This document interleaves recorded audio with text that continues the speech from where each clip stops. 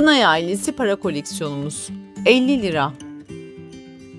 Kullandığımız 50 liranın arka yüzünde Fatma Aliye Hanım'ın portresi yer almaktadır.